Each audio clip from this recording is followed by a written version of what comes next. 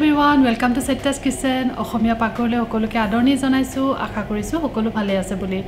আজি এটা বহুতেই ধুনীয়া পিঠাৰ ৰেচিপি লৈ আহিছোঁ এইটো এটা লাইফ ছেভিং পিঠাৰ ৰেচিপি বুলিব পাৰি। লাইফ ছেভিং ৰেচিপি বুলি এইকাৰণেই কৈছোঁ যদি কেতিয়াবা আলহী দুলহী অহাৰ সময়ত চাহৰ লগত খাবলৈ একো বিস্কুট বা মিঠাই নাথাকে তেনেহ'লে ঝটপট এই পিঠাটো বনাই চাহৰ লগত খাব পাৰিব। পিঠাটো দেখিবলৈ একেবাৰে সাধাৰণ যেন লাগে কাৰণে বহুতে আলহীক খুৱাবলৈ বেয়াও পায়। সেইকাৰণে অন্য মিঠাইৰ ওচৰত ই একাষৰীয়া হৈ থাকিব লগা হয়। কিন্তু যিয়ে এবাৰ ইয়াক মুখত দিছে তেওঁ ইয়াৰ প্লেটখন শেষ নকৰাকৈ থকা নাই চাগে। আমাৰ আলু পিটিকা যেতিয়া বেক পাতিটো mashed with garlic butter and with some parsley বুলি আগবঢ়ায় তেতিয়া মুখৰ পৰা এনেই পানী ওলাই আহে নহয় জানো? ভাবিলোঁ আজি এই পিঠাটোকো এটা ৰাজকীয় লুক দি ইউটিউবতে ছেভ কৰি ৰাখোঁ বুলি।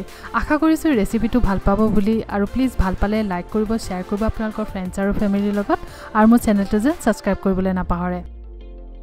পিঠাটো দেখিবলৈ সহজ যেন লাগিলেও ই কিন্তু ইমান সহজো নহয় কাৰণ ইয়াৰ নখৰামি বহুত। পিঠাটোৰ বেটাৰটো যদি পানী অকণমানো বেছি হয় তেতিয়াহ'লে ই নুফুলিব এইদৰে চেপেটা লাগি তলতে পৰি থাকিব।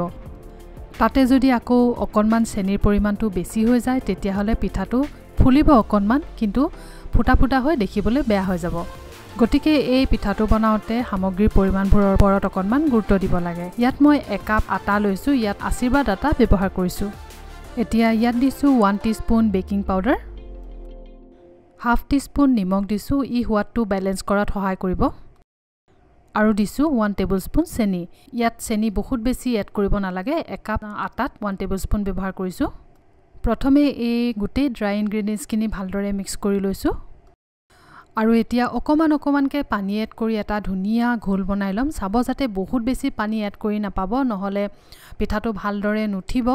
আৰু পানীৰ সলনি ইয়াত আপোনালোকে গাখীৰো ব্যৱহাৰ কৰিব পাৰিব। গাখীৰ কেঁচা গাখীৰ ব্যৱহাৰ কৰিব বা গৰম গাখীৰ যিকোনো গাখীৰেই ব্যৱহাৰ কৰিব পাৰিব। এই ঘোলটো বনাওঁতে কেতিয়াবা আপোনালোকৰ লাগিব পাৰে হয়তো পানী এড কৰিব লাগিব নেকি কিন্তু কেতিয়াও পানী এড কৰি নাপাব। এইদৰে এনেকুৱা অৱস্থা পোৱাৰ লগে লগে ভালদৰে ফেটি ল'ব। পিছত দেখিব যে ই পানী নিদিয়াকৈ এটা ধুনীয়া মানে ঘোল বনি গৈছে। ইয়াৰ কনচিষ্টেঞ্চিটো এটা শ্লাইম বা লিকটীয়া ধৰণৰ হ'ব লাগে। এতিয়া মই ইয়াত অকণমান মানে ওৱান টেবুল স্পুনমান ৰিফাইণ্ড অইল ব্যৱহাৰ কৰিছোঁ। ইয়াৰ সলনি আপোনালোকে ঘিউ বা যিকোনো অইল ব্যৱহাৰ কৰিব পাৰে। ইয়াৰ কনচিষ্টেঞ্চিটো একেবাৰে শ্লাইম টাইপত হ'ব লাগিব তেতিয়াহে ধুনীয়াকৈ ফুলে পিঠাটো নহ'লে নুফুলিব। এতিয়া এখন দ কেৰাহীত মই অকণমান সৰহকৈ ৰিফাইণ্ড অইল গৰম কৰিছোঁ আৰু চামুচখন এইদৰে অকণমান তেলত জুবুৰিয়াই ল'ব তেতিয়া পিঠাখিনি লাগি নধৰে ঢালোতে। আৰু এইদৰে এটা এটাকৈ পিঠা বনাই যাব। সৰু সৰুকৈ দিব বহুত ডাঙৰ ডাঙৰ দিব নালাগে বল কাৰণ ই ফুলি যায় পিছত। আৰু এইখিনি সময়ত মই ইয়াত গেছৰ ফ্লেমটো মিডিয়াম ৰাখিছোঁ হাই কৰি দিব নালাগে নহ'লে এটা ছাইড পূৰা জ্বলি যাব। এই পিঠাকেইটা এতিয়া এখন কাটা চামুচেৰে এইদৰে লৰাই লৰাই চাৰিওফালে ফ্ৰাই কৰি ল'ব। এই পিঠাটো ময়দাৰ লগতো বনাব পাৰি অৱশ্যে ময়দাৰ লগত বনালেও ভাল হয় তেতিয়াও এনে কনচিষ্টেঞ্চি এনেকুৱাই ৰাখিব লাগে তেতিয়াহে ফুলিব। আমিতো ইয়াক এক পিঠা বুলিয়ে কওঁ আটা পিঠা বা পিঠা বুলিয়ে কওঁ। আপোনালোকৰ ফালে কি বুলি কয় জনাবচোন আপোনালোকে? পিঠাকেইটা চাৰিওফালৰ পৰা ধুনীয়াকৈ গল্ডেন কালাৰ বা ৰঙা হোৱালৈকে ফ্ৰাই কৰাৰ পিছত এখন মই টিচু পেপাৰত উঠাই ৰাখিছোঁ।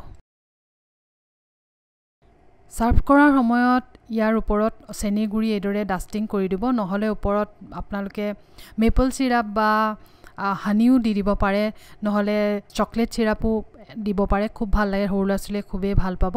আৰু গৰমে গৰমে খাব তেতিয়া আৰু ভাল পাব আপোনালোকে। আশা কৰিছোঁ ৰেচিপিটো ভাল পালে বুলি আৰু নিশ্চয় এবাৰ ট্ৰাই কৰি মোক জনাবলৈ নাপাহৰিব কেনেকুৱা পালে। আকৌ নতুন নতুন ৰেচিপিলৈ পুনৰ লগ পাম তেন্তে আজিলৈ আহিছোঁ বাই বাই